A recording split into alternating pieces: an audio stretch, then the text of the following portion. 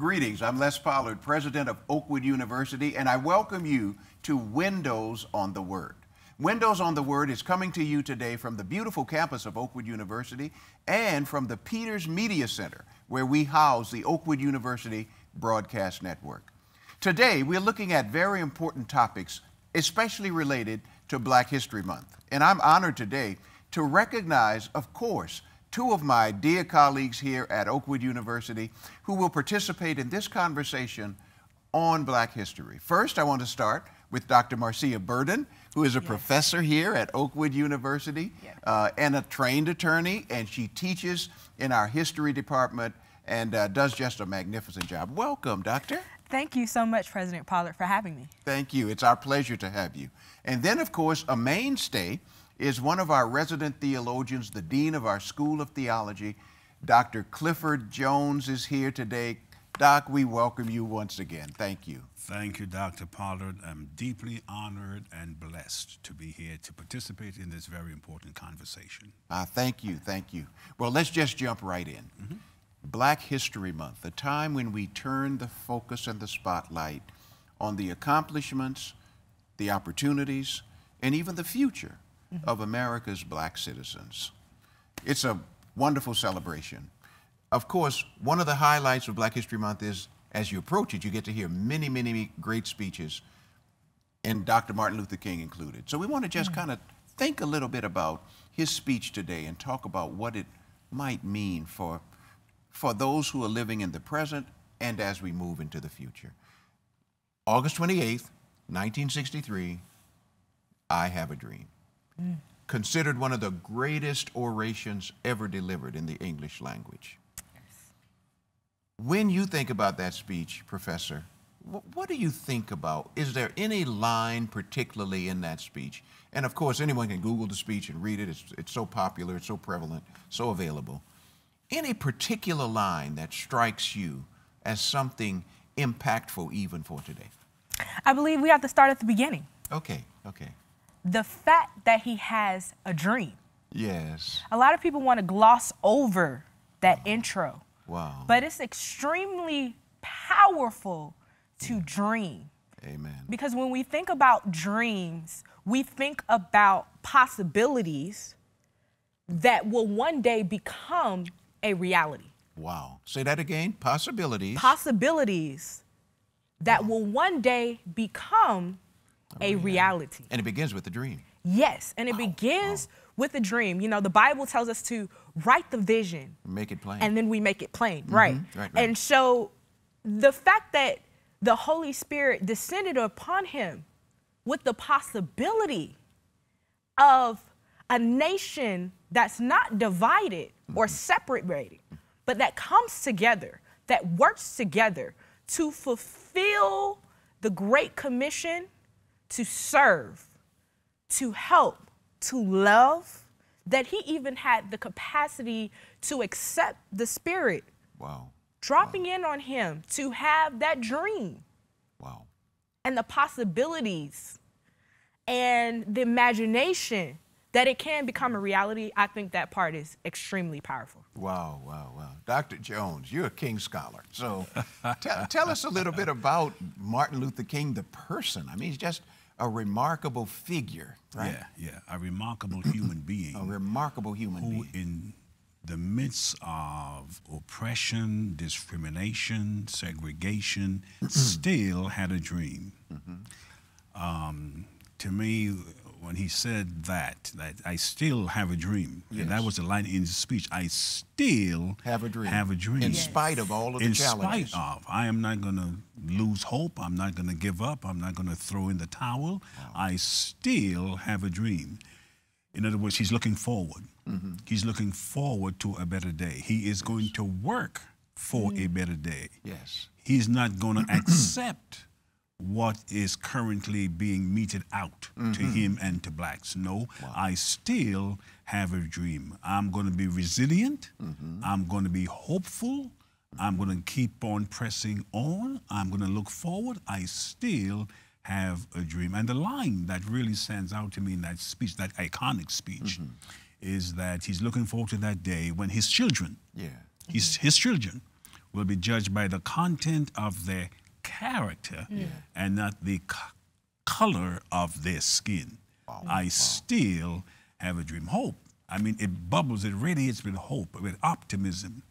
I still have a dream. Oh, it's remarkable. It's remarkable, yeah. isn't it? Yeah.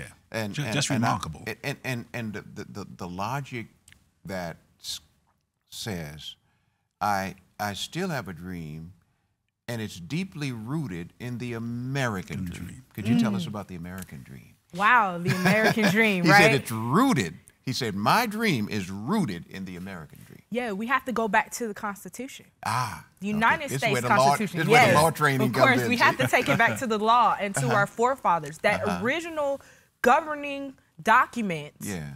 for us as law abiding citizens, which I might add that the U.S. Constitution, as quiet as it's kept, mm -hmm. comes from the book of Deuteronomy in the Bible. Wow, wow, wow. Our country was founded on God. Yeah, yeah. It was founded from that Protestant evangelical movement. With an acknowledgement that God is the foundation of government yeah. and et cetera, et cetera. Mm -hmm. Exactly. So when we think about the American dream, we have to go back to the preamble mm -hmm. of the mm-hmm. Constitution. Mm -hmm. We the people. Mm-hmm. And we talk about life, liberty, and the, the pursuit, pursuit, of happiness. happiness.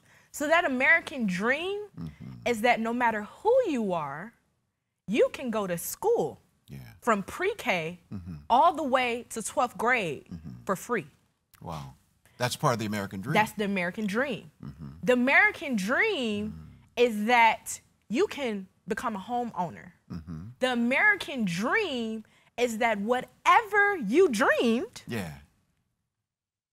the possibility yeah. Can become a reality. If you wanted to be a ballerina, mm-hmm. you can study at Juilliard. If you wanted to be a scientist, mm-hmm. you can study here at Oakwood University and you can go work for NASA. Amen. If you wanted to be a preacher, mm-hmm.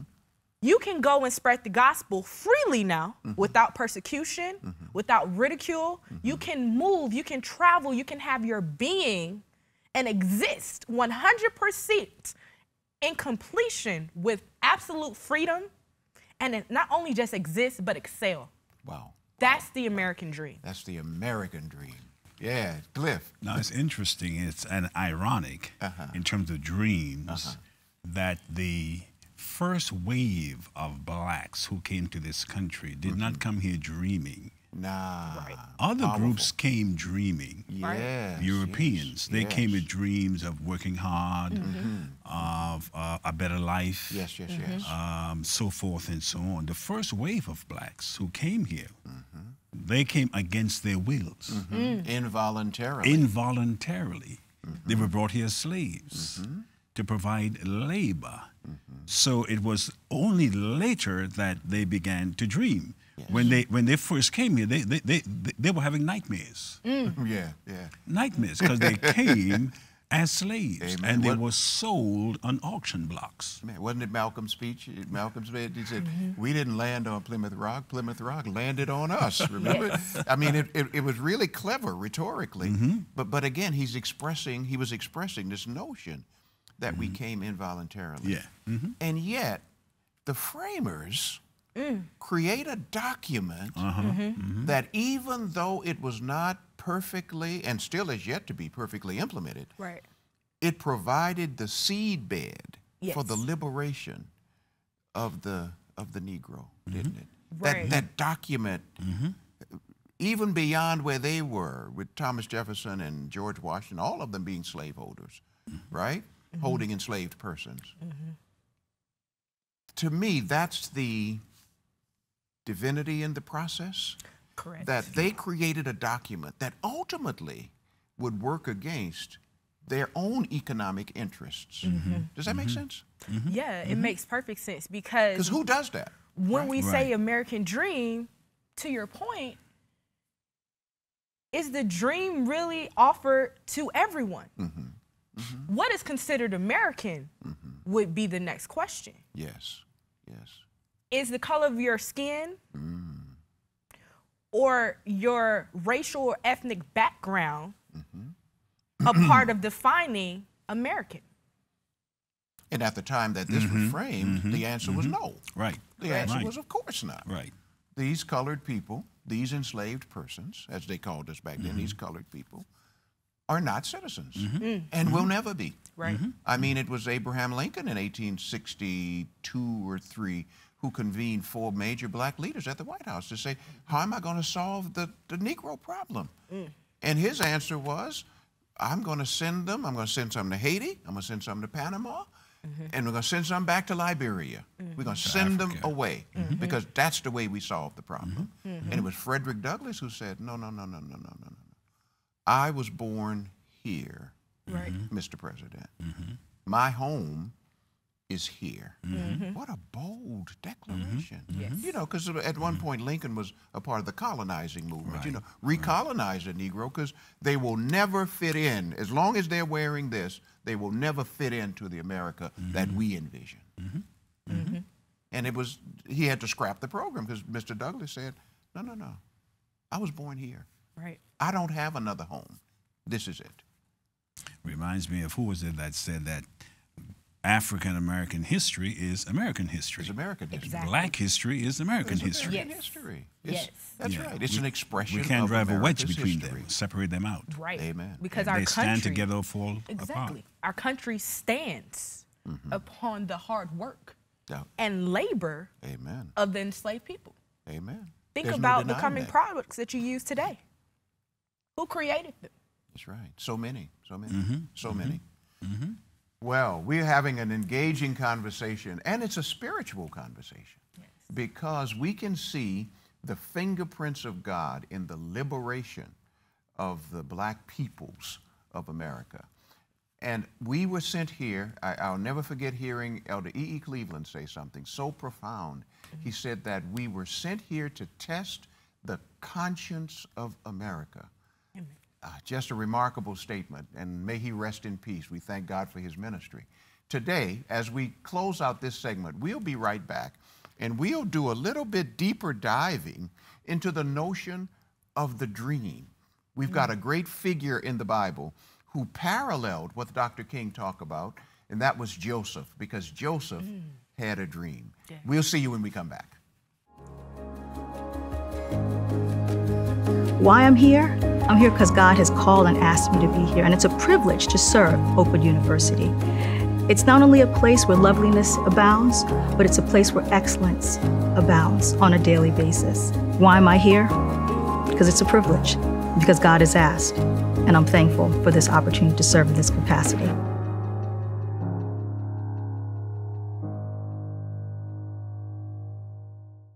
Well, I'm here now with again with uh, Dr. Marcia Burden and Dr. Clifford Jones here at Oakwood University. This is Windows on the Word, and we're engaged, as you can tell, we're engaged in a very passionate discussion about Black history, about its spiritual foundations, and about U.S. history and the role, work, and ministry of Dr. Martin Luther King.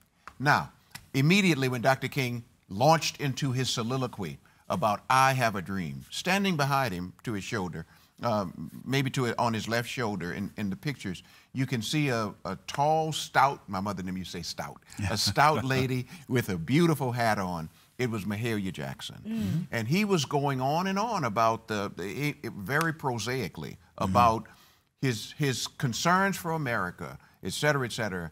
And you can hear, if you listen to the tape, she said, Tell him about the dream, Martin. Tell him mm-hmm. about the dream. Mm-hmm. Mm-hmm. Because she had heard the I Have a Dream segment. Mm-hmm. Mm-hmm. Oakwood University is blessed to have been one of the sites, March 19, 1962, mm-hmm. where Dr. King came to Oakwood's campus because he was disallowed from, in, from speaking anywhere in the state of Alabama. the governor had said he will never speak on a public institution before. And this is 1963. So mm-hmm. this is when Dr. King, there are no holidays, there are no boulevards, mm-hmm. none of that thing. Mm-hmm. He's a pariah, he's a communist, he's all these other allegations are being made against him. Right. Mm-hmm. So he comes to Oakwood University, and if you are interested in finding out more, you can go to YouTube and you can you can hear the speech that he actually delivered here at Oakwood University, and there are trace elements of I Have a Dream. Mm. Mm-hmm. So it's a wonderful, a wonderful experience, and we encourage you, of course, to, to look there. But now, when he announces his dream, immediately he's aligning himself with a biblical character. Oh, yeah. Yes. And Joseph. Yes. Mm-hmm. Joseph. God sent a man. God sent Mm. a man. He's aligning himself Mm-hmm. with all the great dreamers of Scripture, and Joseph is one of them. Mm-hmm. Dr. Jones, tell us something about Joseph of Genesis 37. Well, Joseph is one of my heroes. Me too. Yes. Me too. One of my heroes. One of my heroes. He had a dream. He did. He was going to be somebody. Yes. His brothers heard about the dream. They turned against him, sold him into slavery. Mm-hmm. He had a rough life. Remember, He had a rough sold into life. slavery. See, all these Had a rough analogies, right? But he had a dream, and I Mm-hmm. think his experience shows, you know, the, the, the three D's dreams, dungeons, diadems. Yeah, yeah. You yeah. got the dream, you got to pay a price, Yeah. you got to spend some time in the dungeon, Right, right, right, you right. got to fight, Yes. you got to resist, Yes. but hang in there. Mm-hmm. Soon and very soon, one of these days, you're going to wear the crown. Right, right. Right. Wonderful. Dreams, dungeons, diadems. Amen. Now, Amen. And, Amen. and we see that again in, in, in, in the experience of, uh, of Joseph. Uh, hi- hi- His, his experience is, is so paradigmatic, Yeah. so instructive Yes, yes, for us. yes. It- It's just, just, just powerful. Mm-hmm. And uh, Dr. King, of course, he, uh, he didn't get to wear his diadem here, No, but he uh, didn't. But we believe he will one we day. believe he will one day. Yeah, we But he believe certainly had his dream, and he spent time in the dungeon. He did. Yeah. Over 30, 30 times. 30 he was- arrests. yeah, Yeah, was in prison. Yes. Literally, he literally was in the dungeon. That's right. That's right. And uh, then his life was snuffed out by the assassin's bullet. But And he was um, 39 years old. 39 years old, not even 40 yet. We forget how young a person this this really is. Mm-hmm. At 39 years old, his his life is taken by a sniper. He hadn't gotten to that midlife crisis back then yet. Yeah, yeah, Because he had absolutely. 39 years of age.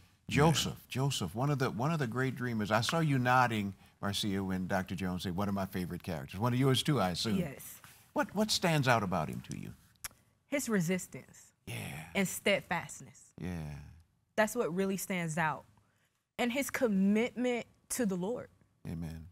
because he realized who gave him his dream. Yes, And what I like about Joseph's story is that when you go throughout and read it, mm-hmm. you don't see perfection the entire story. Mm-hmm. You see a young man who was boastful about his dream, yes. who had some even might call a slight arrogance Right, right, right. and right. sense of pride of mm-hmm. his He's dream. He's got this beautiful jacket that he wears. Yes, and- he has the adoration of his father. Mm-hmm. And he knows because he rests assured that the possibility will become a reality. So Mm-hmm. he knows mm-hmm.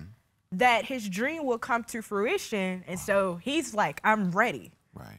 But I've learned in life that, and I feel like Dr. Martin Luther King Jr. could say the same thing, is that when we are humbled and at our lowest point, mm-hmm. and we commit ourselves 100% to God, mm-hmm.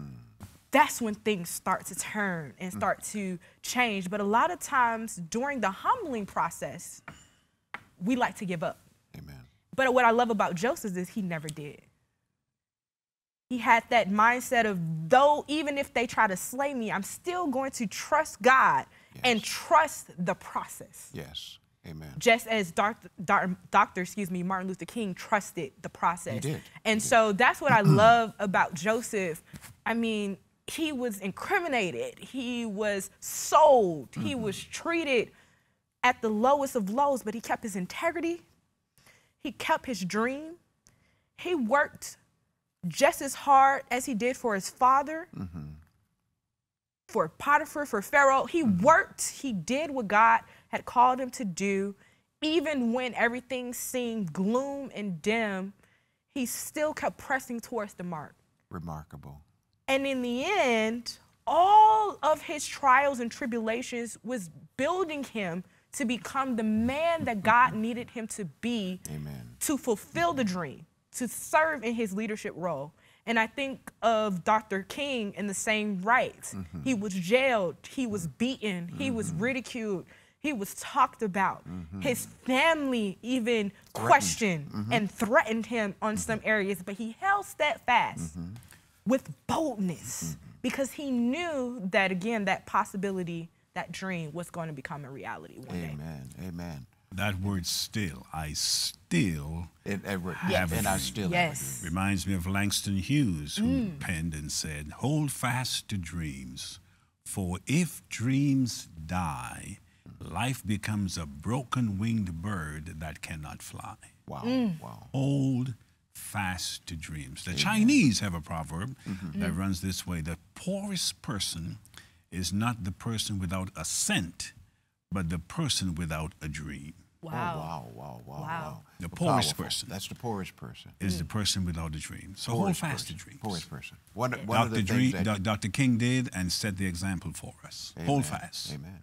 Well, Joseph then was rich because he had mm-hmm. he was rich in dreams, he was mm-hmm. rich in aspirations. Mm-hmm. One one of the things that strikes me about him that so parallels the black experience mm-hmm. is at the end the big reveal scene, right? The big mm-hmm. reveal yes. scene, and the brothers show up mm-hmm. after 24 years of deception. So you're talking about an inordinate amount of time. Mm. And when they show up, Joseph they're terrified. They figure out it's mm-hmm. Joseph. And there are lots of segues from the story. He, he can still speak Hebrew, so he's bilingual, right? But he's speaking to the Egyptian guard in whatever the language is that the Egyptians speak. So he's doing all that, and we can play off of that about how important bilingualism is today and all, all those yes. things. But when they show up and they're terrified, he says something to them that secures that he is truly Joseph. He says, I am Joseph, your brother. After he puts mm. everybody out. And it's a, it's a moving mm-hmm. scene, right? Mm-hmm. And he's mm-hmm. weeping. He says, I am Joseph, your brother, wow. whom you sold into Egypt. Mercy. Mm-hmm. And, and the, the, the power of that, story, that, that statement is that for 23 years, there are only 10 people who actually knew what happened to Joseph. Benjamin mm. didn't know, Jacob didn't know, but the 10 brothers knew that they lied to their dad. Yes. So this family secret, and they're terrified now because mm. the law of the land is the law of the talion which is eye for an eye, tooth for a tooth. Right. Mm-hmm. And he says, no, no, don't, don't be afraid. He says, no, no. He says, you sold me, but God sent me. Mm. Oh my goodness. Mm-hmm. That thing brings me to tears. Mm-hmm. You mm-hmm. sold me, but God sent me. Mm-hmm. I don't know exactly how God was in the African American experience. Mm-hmm. Right. I don't know. Because it's, it's frightening to think that they sold us, but God sent us. I mean, it's right. frightening. Right. But somehow, in the midst of all that, doctor mm-hmm. King could see the overarching hand of God. Yes. And then the forgiveness. Mm-hmm. Yes. He says, You meant it for evil, but yes. God meant it for good. Amen. And here is the thing that I often say to audiences is that, look, the forgiveness took place before they showed up. How do we know? Because he had two children. Mm. And he named one Manasseh, God caused me to forget all about my sufferings. Mm. That's what it means. Mm-hmm. And the other was Ephraim. God caused me to prosper in the land of Amen. my captivity. Amen. Before they showed up, he had resolved it mm-hmm. mm-hmm. so he could mm-hmm. pass it on to them. Dr. King, to me, strikes me as a man who was an agent of reconciliation and forgiveness. He was willing mm-hmm. to forgive because he believed in the dream so deeply. Yes. And it, it's humbling when you think about mm-hmm. it, don't you? Yes. We're going to have to wrap up. But a final statement from both of you as we think about Black History Month and we think about the journey and the life of Martin Luther King. I believe that we're all here on this earth to serve. Amen. The life of Dr. Martin Luther King Jr. as well as Joseph shows us that in this service, we will hit hard times. Yes. We will hit pitfalls. We will possibly be sold out by yes. family members, by friends. But if we hold steadfast to our faith, hold steadfast to that dream, that possibility mm-hmm. that God has birthed within us, Amen. and keep on in His service, all things will work together for our good. Amen. Amen. The Amen. theme of Black History Month this year is Thank Black... you, evangelist. preacher, preacher, preacher. Thank you, preacher. Thank the you. The theme of Black History Month of the Black History Month this year is Black Resistance. Ah. Uh-huh. And when we think of Dr. Martin Luther King junior mm-hmm. how he resisted yeah. the oppression yeah. and the racism and so forth. And nonviolently. In a, in a nonviolent yes. way. He resisted with love. He resisted mm-hmm. with forgiveness. Yes. He resisted with nonviolence. Yes. Um, that's Remarkable. how he chose to resist. Remarkable. Um, and, and, that's, that's the legacy that he left for us today Amen. as Amen. we continue to resist uh, oppression and racism, etc. Amen. Amen. Thank you. Mm-hmm. Thank you so much. Thank you, Dr. Burden. Thank you, Dr. Jones. And thank you, audience, for tuning in. We've celebrated the life and the love and the legacy of Dr. Martin Luther King, who led a love revolution, as you mm-hmm. just said, Dr. Jones. He led a love revolution in ways that are inconceivable, and it must be celebrated and it must be kept alive. It became a paradigm for how others around the world should meet oppression and injustice. And there were voices all around him who were calling to meet violence with violence. But he said the strongest power in the world is the power of love. love. We commit you to that love today. The love yes. of God continues to sustain, to fortify, and to strengthen us.